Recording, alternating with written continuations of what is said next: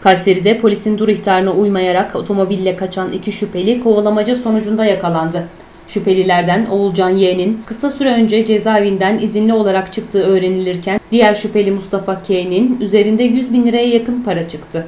Olay Melikgazi ilçesi Eski Sanayi Mahallesi 1. Caddede meydana geldi.